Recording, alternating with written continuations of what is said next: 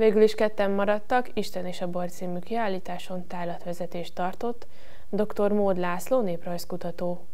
Ő mesélt a kiállítás részleteiről, céljáról és a kiállított tárgyakról.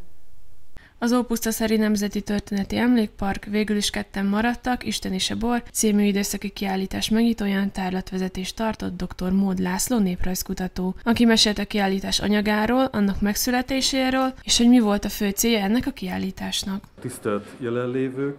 igazgató, illetve képviselő úr részéről már jó néhány információ elhangzott a kiállítás tematikájával, felépítésével eh, kapcsolatban. Néhány kiegészítést szeretnék tenni ezzel kapcsolatban. Ugye 1875 és 1920 van egy időtartalma, egy tolig időtartalma ennek a tárlatnak.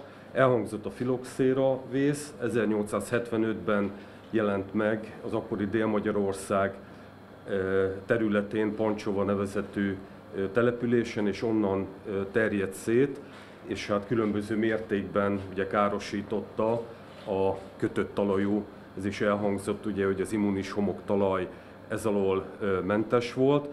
Tehát tulajdonképpen egy nagyon nagy nehézséggel kellett szembenézni, és egy nagyon fontos mezőgazdasági ágazat szerű, került majd, hogy nem a megsemmisülés szélére, már ahol, mert az Alföld, az alföldi borvidék ezzel szemben rendkívüli mértékben megerősödött. Ugye nem a filoxérának köszönheti a létét, amit nagyon sokan hangsúlyoznak, ugyanolyan történeti borvidék, mint bármelyik másik.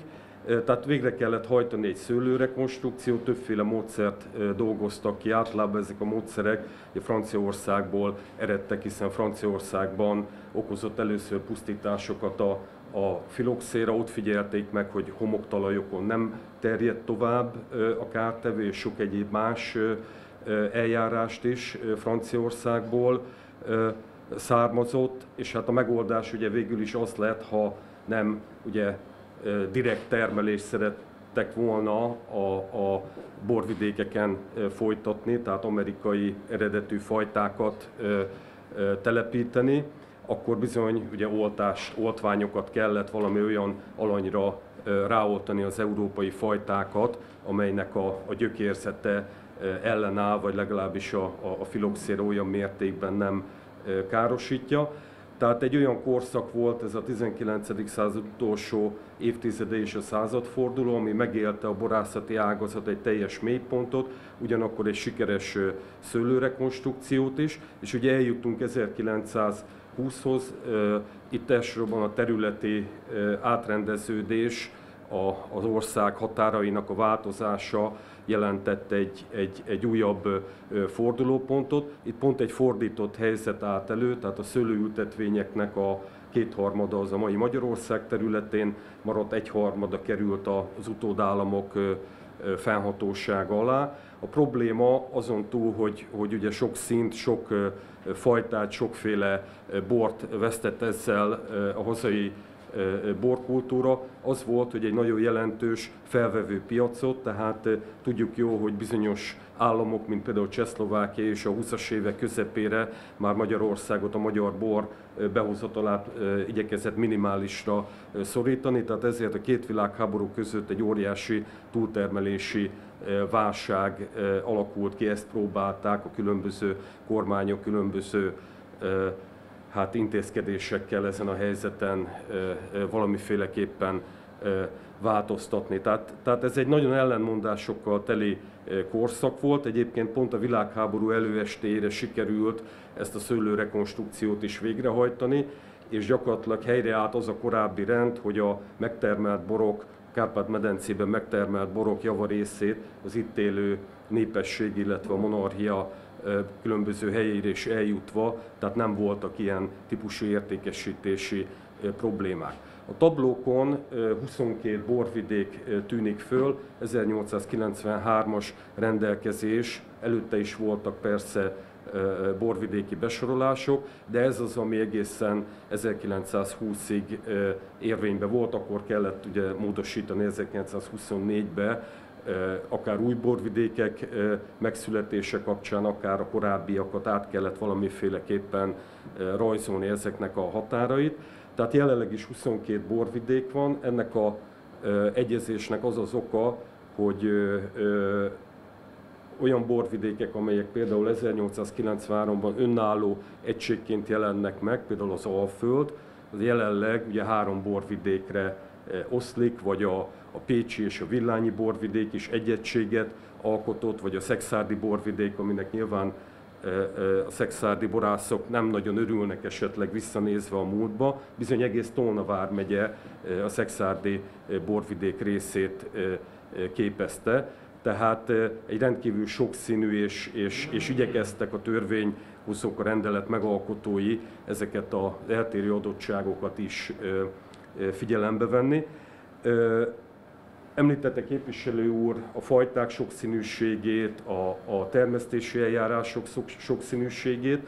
Nyilvánvaló, hogy itt ennek oka egyrészt különböző klimatikus okok a Kárpát-medencén belül, különböző eltérések a geológiában, ugye tudjuk jó, hogy az alapkőzet és rajta képződő talaj milyen fontos a bor karaktere szempontjából, és van még egy harmadik tényező, amiről sokszor el feledkezünk, és amikor magyar borról beszélünk, akkor hajlamosak lennénk azt gondolni, hogy hát a Kárpát-medencébe túlnyomóan a magyar népesség foglalkozott szőlő- és bortermeléssel, de ez nem így van, hiszen ha ezeket a borvidékeket elhelyezzük a térképen, akkor nagyon szépen látszik, hogy bizony olyan területeken is voltak borvidékek, ahol különböző okok miatt magyar népesség már nem élt, vagy, vagy hát elenyésző számba. Itt pont régen egy kicsit velem szembe a szerémi borvidék található. Tudjuk jó, hogy a középkorban ez volt az elsőrangú borvidéke a magyar királyságnak, de hát ugye volt egy török hódoltság, innen a magyar népesség eltűnt, elmenekült, ugye vannak elméletek, miszerint Tokajba került egy, egy része, ugye huszita papokat még előtte ugye távoznak Moldvába, tehát egy nagyon fontos kultúrtáj is a szerémi borvidék, de hogyha tovább nézegetjük a térképet, vannak ma is, hát gondoljunk ugye villányra, hát a sztárborászok szinte mindegyike sváb gyökérzetű, tehát, és, és haladhatnánk tovább, Pozsonyhegyolyai borvidéken is nyilván a németek mellett voltak, vannak szlovákok is, Arathegyolján is, Arathegyolja magyar népessége is szinte kicserélődik, nagyon jelentős számú román szőlőműves volt, tehát gyakorlatilag azt lehet mondani, hogy különböző etnikumok kapcsolódnak be, és különböző etnikumok foglalkoztak a szőlő és bortermeléssel, és amíg eljutunk 1875-ig, ez egy nagyon-nagyon hosszú út, és ez is egy nagyon tanulságos út, hogy, hogy bizonyos szempontból kulturális értelemben milyen hatások érik a térség szőlő és borkultúráját, és ezek a hatások nagyon gyakran összekapcsolódnak ugye népvándorlásokkal, vagy, vagy bizonyos értelemben népességmozgással. Akár gondoljunk a, a középkori nyugat-európai telepesekre, akik, akiket ott találunk Tokaj, Eger környékén, ugye vallonoknak különböző elnevezéssel illetjük őket, vagy éppen a szerémségben, de a középkorban ugye németek Soprontól kezdve Budán is megjelennek, tehát ők is, vagy az erdélyi szászokra gondoljunk, a nagyküküllő mentén, tehát ők is hoznak valamiféle borászati kultúrát vagy gyakorlatot magukkal. Aztán ott van ugye a, a, a török hódoltság, a, a Balkáról északra, Magyarországra beköltöző délszláv népesség hozza mai tudásunk szerint a kadarkát magával, illetve András Falvi Bertalan elnevezésével a balkáni vörösbor kultúrát, aminek a kadarka a főfajtája, plusz mellé a termesztési technológia, a kopaszfej művelés karó nélkül, plusz a vörösbor készítés technológiája, mert hogy a mai ismereteink szerint a középkori magyar borkultúra alapvetően a fehér fajtákra alapozódott, és hogyha visszanézzünk, például ajánlom mindenkinek a német Márton féle háromkötetes ampelográfiai albumot is, ott is zömében ugye a hungarikon fajták között fehér szőlőfajtákat találunk, van persze néhány csókaszőlő, tihanyikék, stb. stb., de alapvetően a fehér szőlőfajták dominálnak. És aztán a 18. században ugye a török után érkezik egy újabb, és főleg itt a ugye, német sváb betelepítést, említeném Szexárd, Villányi borvidék, a Bánátban is, vagy a Bánságban, Versec-Fehér templom borvidéket a német telepesek lendítik föl és, és virágoztatják föl, de nagyon izgalmas kulturális hatások, akár a nem magyar etnikumok között is. Villányba például a németek ugyanúgy, vagy Szexárdon elkezdik a kadarkát termeszteni, tehát, tehát akár ilyen típusú kapcsolatokról is lehet beszélni. Úgyhogy ez a rendkívül sokszínű és rendkívül gazdag világ, amit, amit tapasztalunk a hazai szőlő- és borkultúra területén, az bizony év, évszázadokra visszamenő, és akár ahogy itt az előzőekben próbáltam fölvázolni, különböző kulturális hatások, egymásra hatások eredményeként formálódott ki, és ezek a tablók is végső soron próbálják fajtákat, helyi fajtákat, egy-egy borvidékre jellemző fajtákat felsorolva, esetenként termesztési eljárásokat felsorolva próbálják ezt a rendkívüli változatosságot bemutatni. Én ezekkel a gondolatokkal ajánlanám szíves figyelmükbe a kiállítást. Köszönöm szépen. Majd a Szent Vince Borlovagrend tagjai egy versel zárták a rendezvényt. Boros gazdáknak. Azokról szólnak eme néhány méltató sorok, akik miatt itt vannak, ezek a kiváló borok. Mert élvezni ízét, zamatát nekünk bizony jó, csak a palacba kerüléséről is essék most szó. Mennyi munka, törődés, gyötrelem van vele, benne a szőlésznek, borásznak értő türelme. Ezért mondunk mi köszönetet mindig nekik, akik a szőlőt féltő gonddal, szeretettel nevelik. Majd értő módon kezelik a csodálatos levét, és adják hozzá a termőhely valamennyi pincészet nevét. A köszönet most szóljon a boros gazdáknak, Isten áldását itt kérve nekik, és nem másnak. Köszönöm szépen!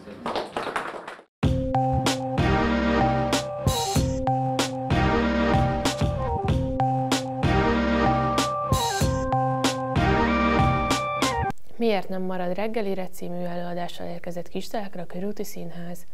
Galambos Zoltánt, a színház vezetőjét, és Kaucki Arman színművészt kérdeztük. Rettenetes. Tudja, hogy maga baromi szögletes? Nem, mert milyen legyen a is. Azt hiszem éppen ideje, hogy visszamenjen a férjéhez. Melyikhez? Még több is van. Ja, egy sincs. Úgy értettem, hogy a, a gyermeke apjához. Hosszú séta lenne Liverpoolig. Nem a fönti úriember az? Dehogy. Csak egy hete ismerem a fenti gyökeres! Pardon. Fenti úriember. Hé, ad egy blászt. Hogy mit?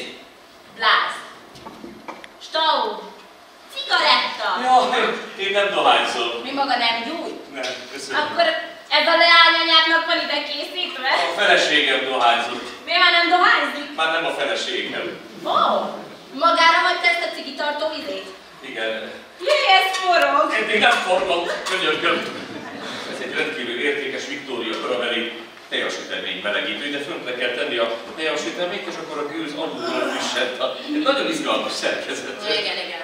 Nem, nem, köszönöm, elnézést, itt nem. Mi? Elnézést. És maga az ilyenekre izgul? Igen. Szép kis úriember maga. És a maga fenti úriember tényleg csak egy hete ismeri? Ja. Egy hete koccantam a Piccadilly vele meg a haverjaival, aztán nem volt hová mennem, úgyhogy felajánlott, hogy csövezhetek náluk egy darabig. Ja. Csak aztán egyik cirkusz jött a másik után, úgyhogy dobbantottam. De csak miért kellett ott hagyni a Liverpool? Hát egyik cirkusz jött a másik után. Maga nagyon szeretheti a cirkuszokat. Így is mondhatjuk. Na, megkapom azt a zsét? Miért nem marad reggelire című előadása érkezett a Körúti Színház csapatai, de kistelekre ezzel kapcsolatosan kérdezzük a színház igazgatóját, Galambos Zoltán. Köszöntöm Önt, beszéljünk is erről az előadásról, mivel ide érkeztek kistelekre. Mit is tudhatunk erről? Mindig nagyon keresem azokat a darabokat, amik nem csak vígjátékok, nem csak sokat lehet rajta nevetni, hanem valamiért lelkileg és emberileg is fontos, hogy az élmény az ne csak a ruhatárig tartson, hanem hogy valamiért, hogy még akár másnap, meg harmadnap is gondolkozon erről az ember. És ezt a darab nem volt alapvetően ilyen, de sikerült ilyené tennünk. Tehát nagyon komoly kérdéseket is feszeget, de azért ez egy felszabadító, kacagtató végjáték, aminek szép és romantikus a vége, és megható is. Tehát megható is, vicces is, elgondolkozható is, és szerintem ez egy hibátlan darab. Kiket is láthatunk a szereposztásban? Ez ugye két, alapvetően két főszereplős, még néhány a színpadra jönnek, de tényleg csak másodpercekre. Tehát ez nekünk most már egy nagyon sikeres párosunk, Kautsky Armand és Karajovnov Lilla, akiket már megszeretettek az üvegcipőben, vagy a bolondlányban, és ezt tulajdonképpen kettőjüknek is kerestem ezt a darabot, hogy az üvegcipő már kicsit kifutóba van, hogy legyen egy hasonló lelkületű darab, ahol ők nagyon jól érzik egymás játékát, azért most már be tíz év van, úgyhogy hát őket nem. Az idei évadban csak olyat hoztunk kistelekre, ami mind idei bemutató, mind a betörő, mind a játék a kastélyban, mind a miért nem marad reggelire, mert hogy ez egy jó közönség, meg szeretnek minket, meg, meg jó ide jönni, úgyhogy azért nyilván ide hozzuk először az új dolgokat, hogy, vagy az első helyek egyike, hogy, hogy itt legyünk. Arról már lehet tudni bármit, hogy mikor fognak érkezni a közeljövőben önök? Hát ugye ezzel véget ér az idei bérletes szezonunk.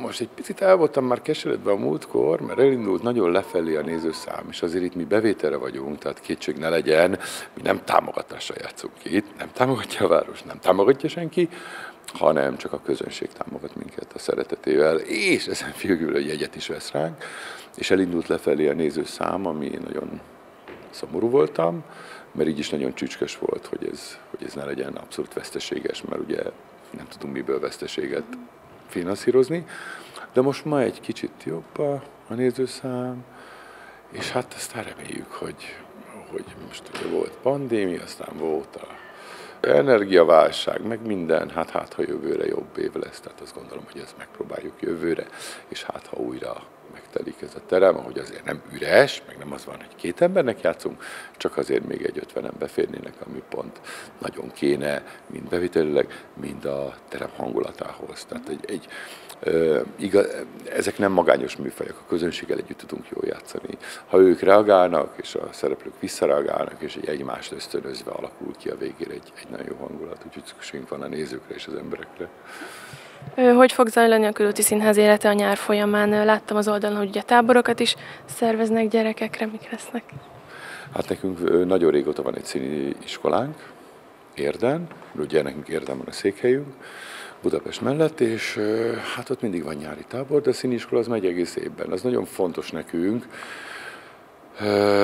Például a mai főszereplő Karajvanov Lilla is színiskolásként kezdte nálunk 13 éves korában, tehát bizony a saját utánpótlásunkat is próbáljuk onnan kinevelni, és a szakmának is adni embereket, de ez nem kötelező mi színiskolánkban, mindenki annyit amit akar, de ugye nagyon sok darabunkban vannak gyerekek ahova a színiskolából visszük őket, és vannak gyerekdarabok, amiket csak gyerekek játszanak, mint az Emil és a detektívek, úgyhogy kellenek nekünk a gyerkőcök, meg erőt is adnak nekünk, meg lehet tőlük energiát lopni, meg egyáltalán meg az ember akkor talán fiatalabb marad, vagy fiatalabbnak érzi magát, hogyha fiatalabbal veszi magát körül.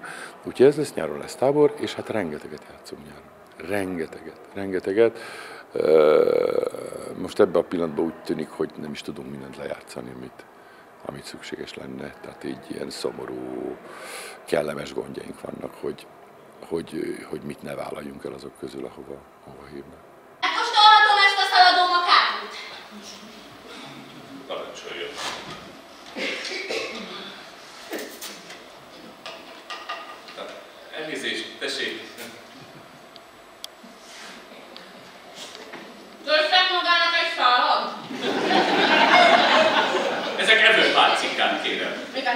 ezzel kell enni.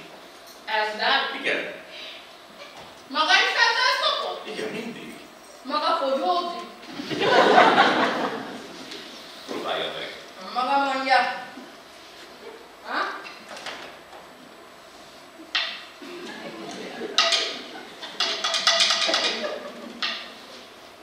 Ah, egyen már maga. Jézusom, mikor evett utoljára? Nem, köszönöm.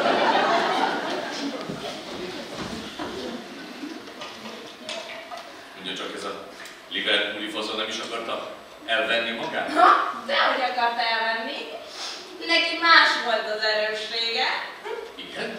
Ilyet írt föl nekem az orvos. Akkor mégiscsak jár orvoshoz. Nem úgy. Érti? Ha? Nem. Jól volt töltve. Maga hogy van töltve? Esetleg egy kis hajókapudingot. Jöhet. Az egyik főszereplővel, Kauszki Armanddal beszélgetünk. Köszöntöm Önt, beszéljünk kicsit erről a- az előadásról, mit is tudhatunk róla. Rékuni egy, az egyik napjaink egyik legközkedveltebb és legjobb vígjátékírója, e, és ez is az egyik legjobb darabja közé tartozik. Ráadásul, ráadásul egy olyan témát feszeget, ami nagyon aktuális ma, különböző emberek összekerülnek, és hogyan kerülnek egymás mellé, akár külön életkorból, akár külön társadalmi rétegből kerülnek egymás mellé, és mit okoznak egymásnak, hogyan változtatják meg a, egymás életét. Úgyhogy erről szól a darab. Egy fiatal bohó kislányról és egy középkorú, idősebb ö, angol úrról van szó, akit én játszok. Mit tudhatunk az Ön szerepéről? Kicsit beszéljünk arról is. Nekem nagyon közel áll ez a szerep hozzám, nagyon, hogy a háttérben is látszik, egy ilyen kicsit ódon hangulatú polgári lakásban él, a maga kis magányában, elhagyatottságában egyedül, és ebbe zavar bele ez a fiatal lány, zavarja meg az, azt, a, azt a tökéletes, ám de nagyon magányos életét. Mivel, hogy Ön is mondta, hogy közelebb áll Önhöz ez a szerep, így könnyebb is meg, megformálni egy ilyen szerepet. Hát én családban élek, de azért majdnem, hogy azt mondom, hogy, hogy valóban nagyon testhez áll a, a, a, a szerep. Én, én is magam is egy ilyen környezetben élek otthon, ezt szeretem, a régi butorokat, ezt az antik világot, és úgyhogy nem volt nehéz ezt magamévá tenni, ezt a szerepet.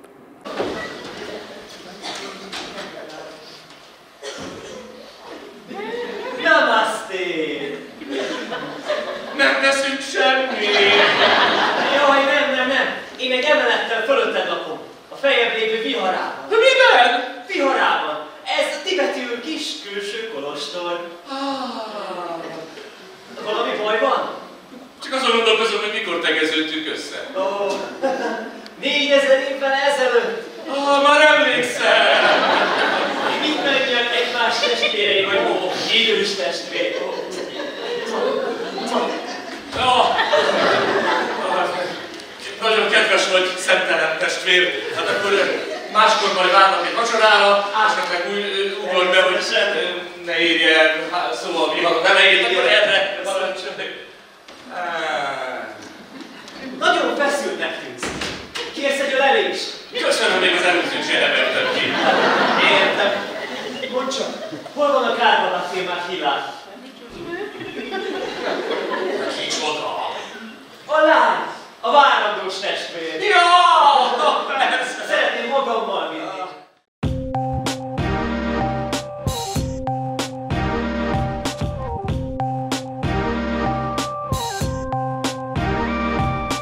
A húsvétváró nyuszi bulin mesét mondott Kovács Erzsébet. Ezt tekinthetik meg a következőkben. Legyen a három nyúl, oké? Okay? Egyszer régen, nagyon régen, zúgó erdő közelében három nyulak összegyűltek, sejemfűre települtek. Ottan se ültek sokáig, talán csak egy fél óráig. Amikor felkerekedtek, hogy már végre hazamennek, egy szarka felettük szállott. Na, mit csináltak? Na? Hí. Ki tudja? Nem? Na, ki tudja? Na, nyuszi tud? Oké. Tehát, mielőtt hazamentek, várják, most fölkerekedtek, várjunk, várjunk, mit csináltak? Mit csináltok három nyulak? Úgy ültök ott, mint az urak. Úgy, úgy, bizony, mint az urak, felelték a három nyulak. Na ki ismeri ezt? Na ki ismeri? Ha-ho. Na? Ismeri Laci bácsi? Nem, Laci bácsi nem ismeri. Ismeri? Akkor mondjuk együtt. Elmondjuk? Mondjuk együtt. Kezdjük együtt előről. Egyszer régen, nagyon régen, te is Laci bácsi. Hm? Zúgó erdő közelében három nyulak összegyűltek, sejen fűre települtek, ottan se ültek sokáig, talán csak egy fél óráig. Mikor aztán felkerekedtek, hogy már végre hazamennek, egy szarka felettük szállott, s felkiáltott. Mit csináltok? Mit csináltok, három nyulak? Úgy ültök ott, mint az urak. Úgy, úgy bizony, mint az urak. Felelték a három nyulak. Ezután már urak leszünk, Ebédre rókahúst teszünk. Nem fogjuk az időt lopni, Most indulunk róka fogni. Csacsi szarka nem elhitte, repült is már a hírt vitte, s Buta róka is elhitte. De hát hogy ne hitte volna, akár milyen ravasz róka, mert a szarka így kiáltott. Egy jegenye fölött szállok, mikor lenézek a földre, három nyulak ülnek körbe, összebújva tanácskoznak. Jaj, mekkora nyulak voltak, jaj, mekkora fejük, szájuk, a medve egér hozzájuk. Hát még miről beszélgettek, hogy ezután csak rókát esznek. Ennek fele sem móka, szedte is lábát a róka, futott ki az erdőszélre, csak mielőbb odaérne. Hát, amint ott futott, szaladt, szembe vele farkas halad. Szaladj te is, komám farkas, jaj, mit láttam, ide hallgass, az erdő közepén jártam, most is borsodzik a hátam, sosem láttam ilyen szörnyet, ottan ültek három szörnyek. Három nyúl volt és akkora, hogy fél méter is volt egy foga. Hát még miről beszélgettek, hogy Ezután csak farkas tesznek, no hiszen egyéb se kellett, a farkas is futni kezdett, a rókával versenyt futott, majdnem az orrára bukott. Addig futott, amíg szembe nem jött vele egy nagy medve. A medve így szólongatta, hova szaladsz, farkaskoma? Medve komám, ne is kérjed, szaladj, ha kedves az élted. Erdő közepében jártam, jaj, mit láttam, jaj, mit láttam. Három nyulak ottan ültek, éppen ebédre készültek. Akkora volt foguk, szájuk, hát... Kisegérke vagy hozzájuk, hát még miről beszélgettek, hogy ezután csak medvét esznek. Egyébre se volt már medve, szaladni kezdett a medve. Elő róka, hátul medve, közben a farkas lihegve. Így szaladtak erdőszélre, szomszéd erdő közepébe. Szaporán szedték a lábuk, szellő se éljen utánuk. Amíg futottak lihegve, egy vadász jött velük szembe. Néz is őket a nevetve, együtt szalad róka, medve. No, hiszen csak ne nevessél, vigyázz, nehogy bajba essél. Szaladj inkább te is erre, kiáltott rája a medve. Az erdőben három szörnyek, puska sem öli meg őket, három nyulak, de akkorát, Nem láttam még ilyen csodát. Szedte lábát a vadász is, eldobta a puskáját is, ilyettében megfogadta, most az egyszer érjen haza, csak ne hallják föl a szörnyek, soha se vadászik többet. Ez alatt a nyuszi házban, szűszálakból vetett ágyban, három nyuszi aludt szépen, összebújva békességben.